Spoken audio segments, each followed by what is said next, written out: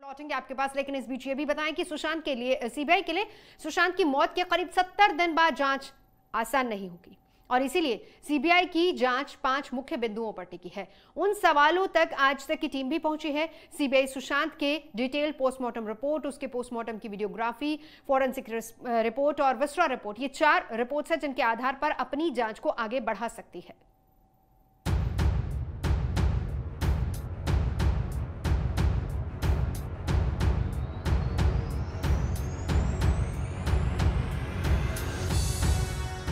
CBI की आत्मविश्वास से भरी टीम को पक्का यकीन होने लगा है कि इस मामले को वो मुकाम तक पहुँचा कर रहेगी और जल्द ही सुलझ जाएगी। सुशांत सिंह राजपूत की मौत की मिस्ट्री।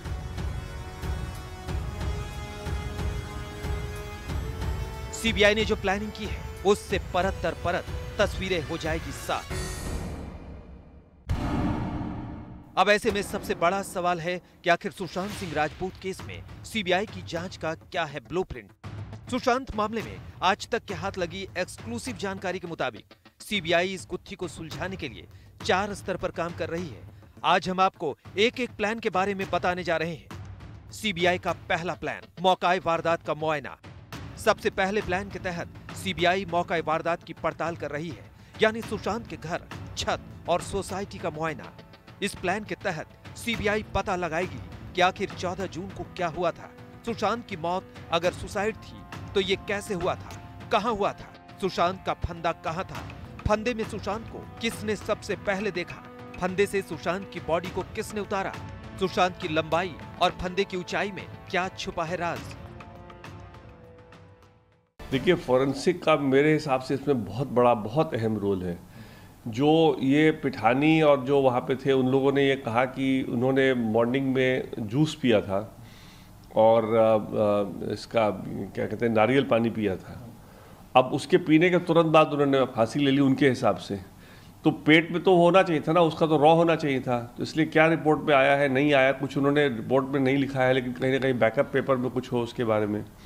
दूसरी बात कि जो जो निशान उनके चेहरे पे हैं मतलब फंदा के अलावा निशान उसका कोई एक्सप्लेनेशन नहीं है। सीबीआई इस मामले को सिर्फ़ सुसाइड या खुदकुशी के एंगल से जाँच करने के लिए नहीं आई है। सीबीआई के जो ऑफिशियल हैं, जो यहाँ पहुँचे हैं, उनसे मेरी जब भी बात हुई, उनका एक ही लाइन है कि वो किसी भी एंगल को नहीं छोड़ेंगे।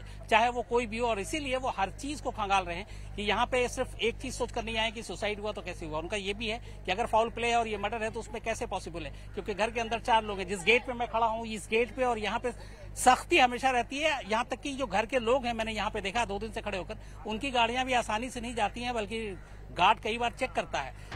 सीबीआई के सामने इस केस को सुलझाने की सबसे बड़ी चुनौती है। सीबीआई का दूसरा प्लान घटना स्थल पर मौजूद लोगों के बयान का मिलान। दूसरे प्लान के तहत सीबीआई जो कुछ करने जा रही है, उसे भी आपको बता देते हैं। इसके तहत सीबीआई पता लगाएगी कि सुशांत के घर में कौन कौन था। घर में मौजूद सभी लोगों के बयान का मिलान करेगी।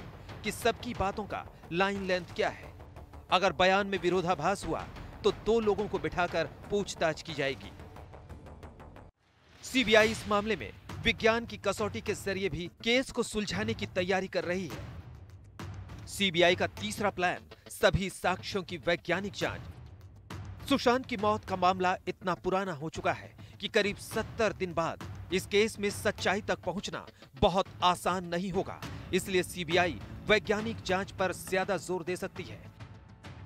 इसके तहत चार अहम रिपोर्ट हैं, जिन पर सीबीआई की नज़र है। ये हैं फोरेंसिक रिपोर्ट, पोस्टमार्टम की वीडियोग्राफी, पूरी पोस्टमार्टम रिपोर्ट और विसरा रिपोर्ट। फॉरेंसिक और विसरा रिपोर्ट को सीबीआई डॉक्टर सुधीर गुप्ता को भेजेगी। विसरा रिपोर्ट से पता चलेगा कि कहीं सुशांत को कोई जहरीला सामान तो खाने में नहीं दिया गया था। साथ ही ये भी पता चलेगा कि कहीं उनको कोई संदिग्ध दवाई तो नहीं दी गई थी। सीबीआई पोस्टमार्टम रिपोर्ट को भी देखेगी कि उसमें सभी जानकारी सही तरीके से दी गई है या नहीं। ये भी जाँच करेगी कि पोस्टमार्टम रिपोर्ट में मौत और जख्म की जानकारी सही तरीके से दी गई है या नहीं। सीबीआई इसलिए कपूर अस्पताल के उन डॉक्टरों से भी पूछताछ करेगी जिन्होंने पोस्टमार्टम किया था। खास बात यह है कि इस मामले में पोस्टमार्टम रिपोर्ट पर पहले ही सवाल उठ चुका है। ऐसा लगा कि सबको बहुत ज़्यादा हड़बड़ी थी। हर चीज़ रफा दफ़ा करने के लिए। उसका तुरंत पोस्टमार्टम करो, तुरंत क्रियाक्रम करो रफा दफ़ा करो, खत्म करो सब चीज़ ताकि कोई सुराग न बचे। फोरेंसिक एक्सपर्ट 24 घंटे लेट आते हैं। सीबीआई के तीसरे प्लान में इसी पर ज़्यादा ज़ोर है, ताकि जाँच के नतीजे पर कोई सवाल न उठा सके और कोर्ट की दहलीज पर टिक सके। इसके तहत सभी के बयान को वैज्ञानिक जाँच से मिलान कराया जाएगा। सीबीआई के रडार पर मुंबई पुलिस भी है। मुंबई पुलिस इस मामले में नहीं चाहती थी कि सीबीआई जाँच हो। ऐसे में इस केस को मुकाम तक पहुँचाने के लिए सीबीआई का चौथा प्लान भी है। सीबीआई का चौथा प्लान, मुंबई पुलिस की तफ्तीश की भी जाँच। अपने चौथे प्लान के तहत सीबीआई मुंबई पुलिस की तफ्तीश की भी जाँच करेगी। सीबीआई पता लगाएगी कि आखिर मुंबई पुलिस खुदकुशी के नतीजे तक कैसे पहुँची। उस सवाल का भी सीबीआई पता लगाएगी कि क्या पोस्टमार्टम रिपोर्ट सही तरीके से की गई।